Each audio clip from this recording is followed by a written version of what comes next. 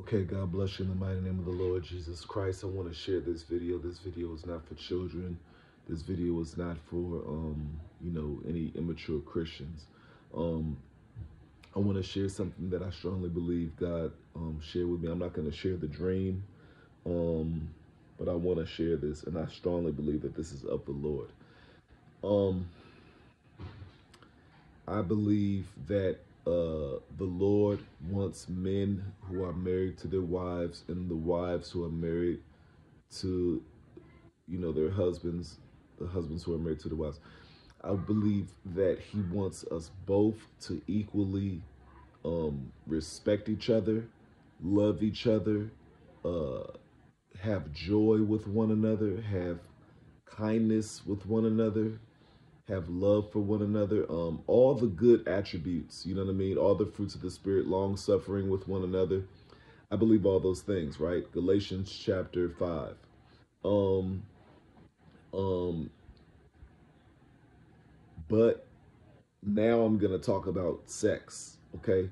Um, I believe now uh, I'm not against any and I'm not saying this as somebody who was doing this because I didn't do this in my last marriage, um, which is uh, clitoral, uh, uh, what did he call it?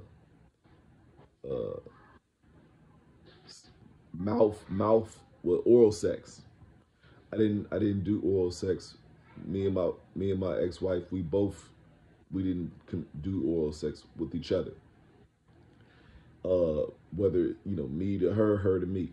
But this is what I and I believe that she uh, wondered if it was a sin. Uh, I believe that she wondered that. I think she even uh, um, wondered that to me anyway.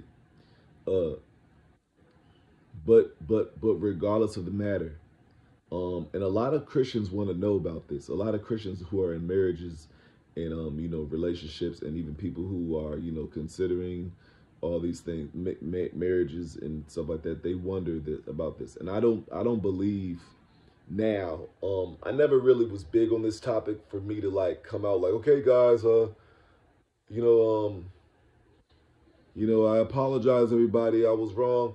Uh, maybe I did come against it. I, I know I did on Facebook. I know I came against it on Facebook, but I stand to you today saying that I'm not. I'm not opposed to it. Um, not saying that this is who I am now and I'm going to be this guy or it's not even about me. It's not about me. So just take me out of it altogether. But women require, they require in their, and, and understand something. For Well, let me just say this. They require clitoral stimulation um, for their maximum, you know, orgasms. That's where they that's where they have orgasms. They release orgasms the easiest that way. Um, that's the most sensitive part of their whole entire body.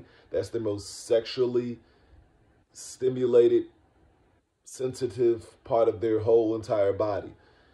So common sense says that God made them that way to receive that stimulation sexually by their partner there. How you do it, whatever you rub against it, your body, your mouth, whatever, that's your business. It's between you, God, and your partner. I have nothing to do with that. But what we do know is that women require sexually um, stimulated pleasure the most from the clitoris, right? And the Bible never speaks, the Holy Scriptures, I don't even like to call it the Bible. The word Bible means book. Um, the Holy Scriptures, and they don't call it the Bible. You'll never see them call it the Bible. They call it the Holy Scriptures. And it never calls anything as far as like oral sex a sin. It never talks. I know that people say, oh, sodomite, sodomy, sodomy but sodomy um, is looked at as anal sex because it talks about abuses of the flesh, okay? abuses of the flesh because anal sex is painful. It causes bleeding. It's not supposed to be there. It literally calls it abusers of the flesh. First Corinthians 6 9. Okay. Abusers of the flesh. Um, and you know, and that's tied into homosexuality and all that. It's all it's mentioned and surrounding that area right there. Um, that being said, though, is that uh, yeah, uh, men require uh vaginal intercourse or just sexual intercourse. Men require that for their highest, you know, um orgasmic thrill, pleasure. That's what that's what men desire the most, okay? And and women desire um you know, and and and women desire the clitoral stimulation the most. And um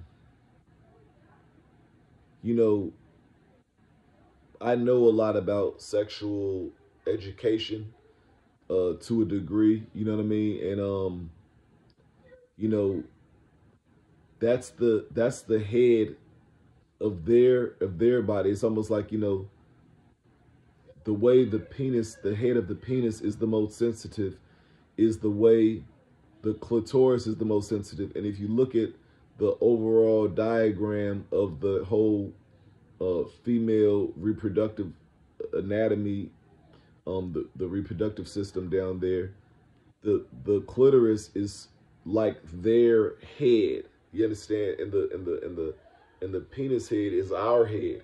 And so those are the both both the heads. And see, God made men and women completely different. We're like night and day.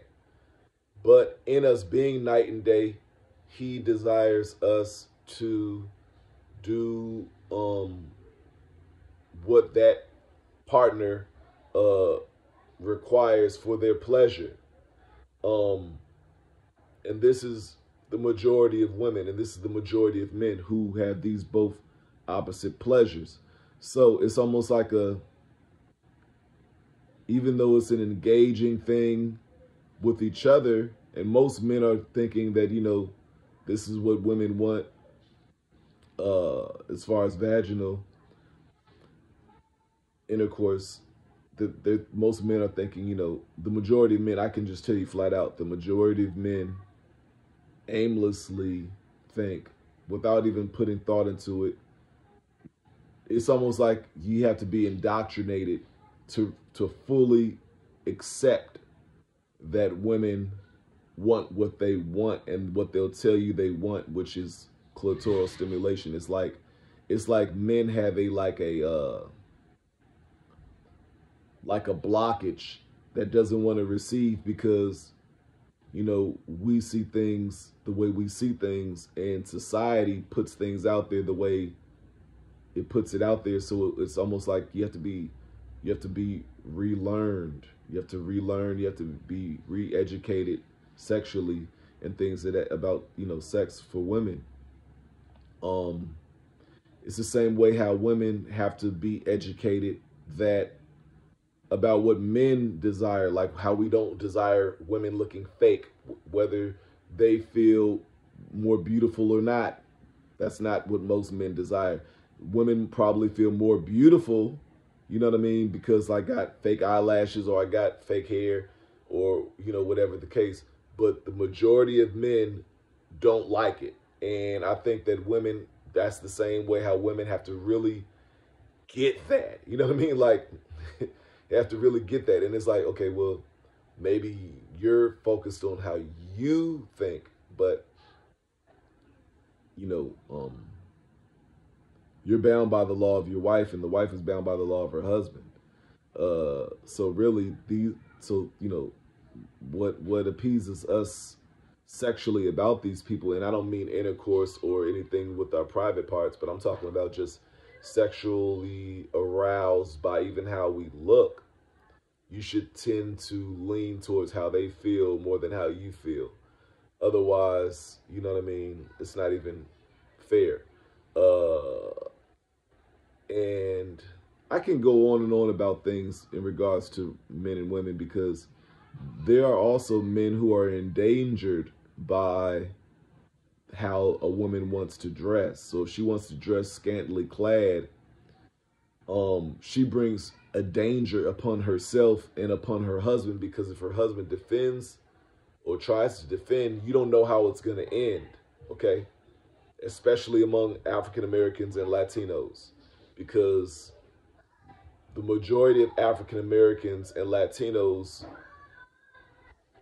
are wired different than um, European Americans. European Americans tend to like, you know, they go to like clubs and, and bars. Latinos and um and African Americans, we we get your number wherever you're at. At the gas station, we we shout, we whistle. Not saying we as in myself, but what I'm saying is culturally, we're more um we're more aggressive or we're just more open or we're just more free to communicate. We don't like, you know how like you'll see Asians on the train, they're culturally just quiet and they just all on the train silent. Nobody talks and you're almost looked at as weird for like getting loud or talking. Okay, well you're in the African American community, you know, you got people doing the moonwalk trying to get a quarter.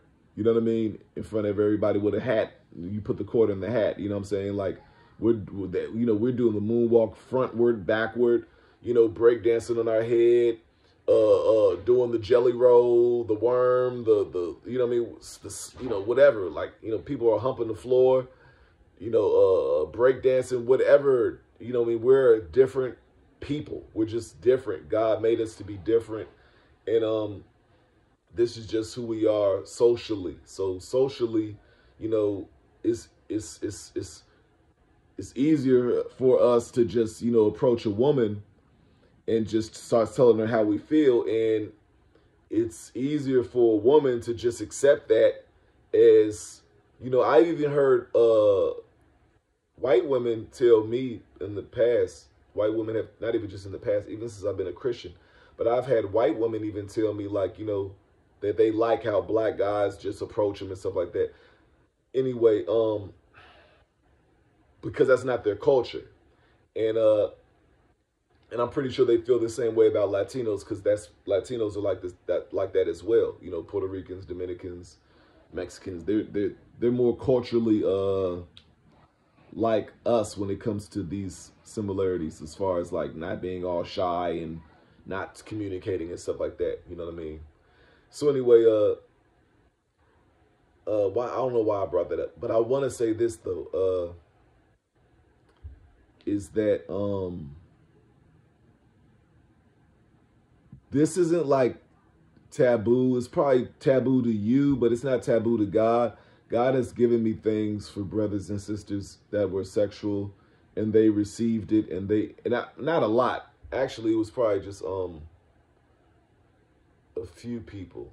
Um it was it didn't happen a lot. Well, actually, hold on. It did actually happen a lot. But whether it be good or whether it be bad, God cares about sex.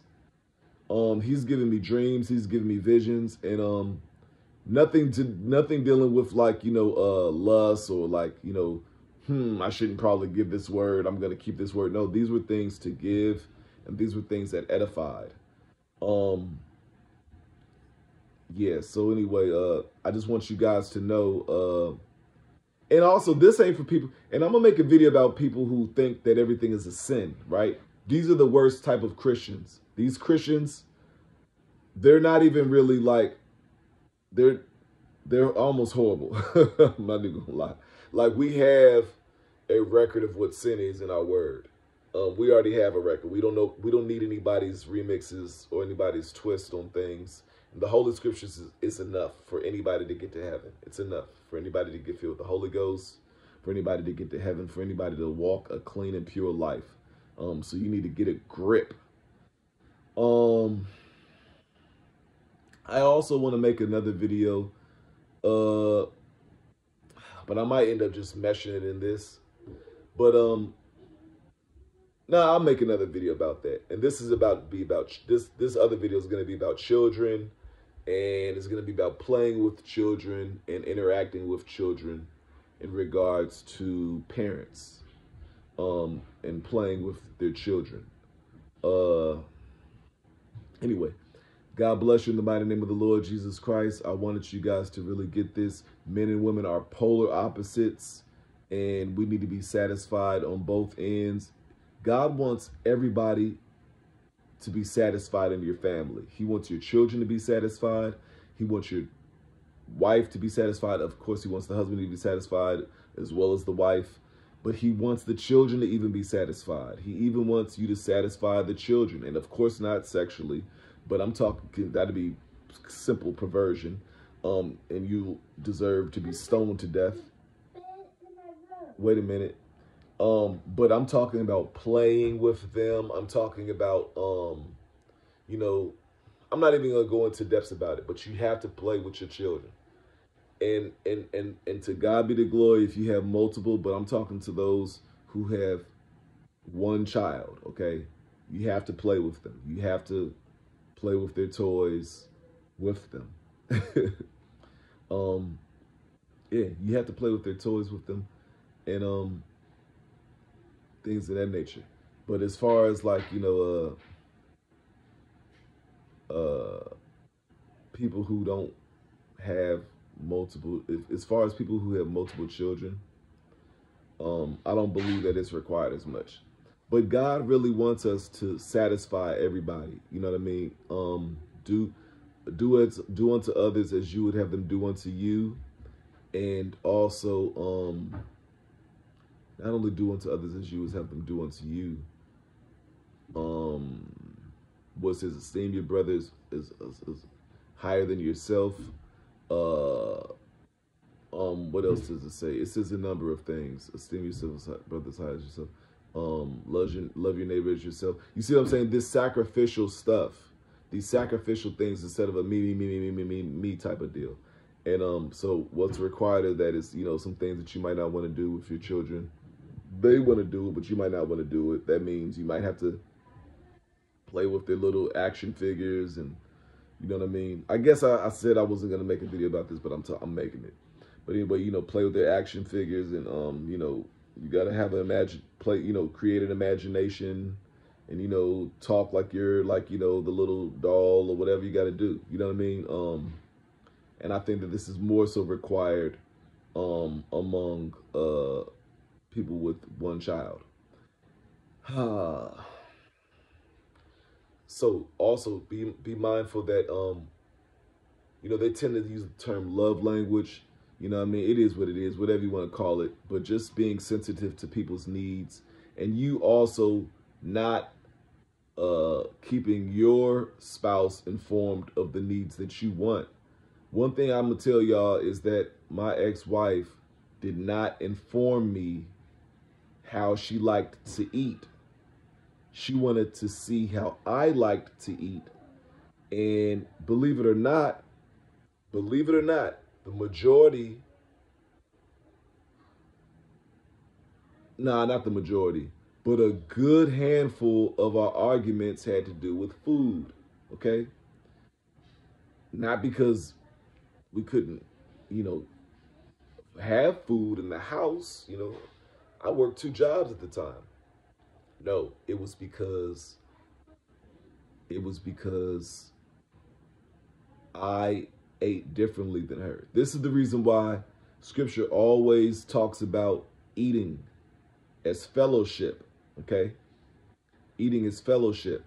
Um, this is the reason why you'll see some people who are out of shape because of their out of shape spouse they might not be this way, but their spouse is this way. And so, you know, I've had as a personal trainer who I used I used to be a personal trainer, I used to always hear people complain about how they're gaining weight because their spouse um you know uh gain uh, doesn't eat recklessly. I mean eats recklessly. So now they're eating recklessly because their spouse always eats recklessly.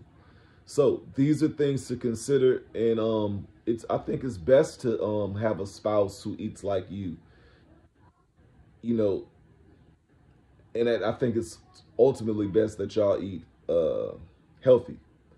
Um, and eating the same is vital to a relationship. It's vital to a relationship. Um, because you know people die from how they eat. Okay, people have high cholesterol because of how they eat. People get heart attacks because of how they eat. The number one killer in the African American community isn't bullets. It isn't gang violence. It's high blood pressure. Okay, it's heart disease. Okay, so yes, eating matters very much.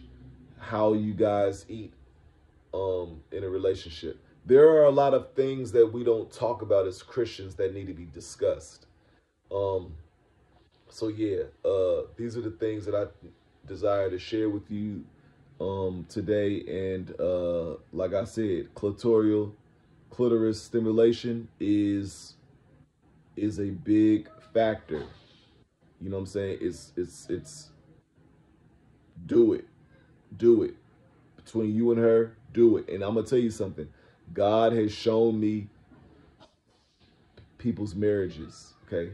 God has shown me uh you know um where people aren't you know meeting uh meeting uh meeting the mark, okay? Or where people aren't pleased. God has shown me people who aren't pleased sexually in marriages. So don't think for once that God does not desire um don't think for once that God does not desire uh, for you to be educated about your partner's sexual um, desires. Uh, another thing for men who have uh, erectile dysfunction, eat food that promotes blood flow. Women who have, you know, um, women need to eat food that promotes blood flow too. Life is in the blood. Always remember that. Life is in the blood. Eat food that promotes blood flow. So that basically means fruits and vegetables more than meats, okay? Tons of fruits and vegetables. Eat fruits and vegetables. That that will cause you to lose weight. Um, that will cause you to uh, have blood flow. And, and as long as you have blood flow circulating through your body properly, you're going to have an erect, strong penis. Okay, is all, all you have to do is eat a lot of vegetables and a lot of fruit. That's all you got to do. Okay.